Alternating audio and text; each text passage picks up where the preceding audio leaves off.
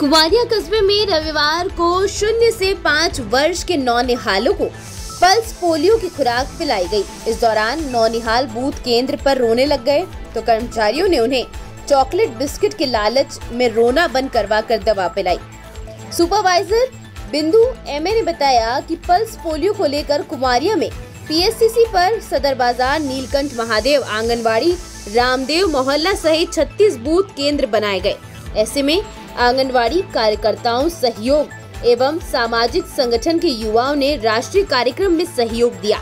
कुल उन्नीस सौ नौनिहालों को पल्स पोलियो की खुराक पिलाई गई।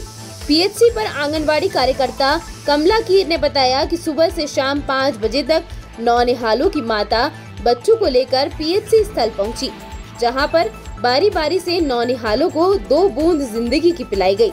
व उनके उंगली पर निशान लगाया गया।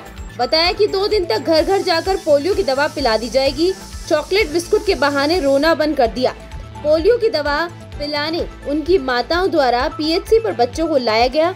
दवा पीने आए कई नौनिहाल बूथ केंद्र पर आकर रोने लग गए। तो मौके पर कार्य कर रहे कर्मचारियों द्वारा उन्हें चॉकलेट बिस्कुट के बहाने रोका और उन्हें दो बूंद दवा पिलाई गई। उंगली पर निशान लगाया गया। इस दौरान मनभर सेन आंगनवाड़ी कार्यकर्ता कमला कीर सीता रेगड़ आदि कार्यकर्ताओं ने सेवाएँ दी।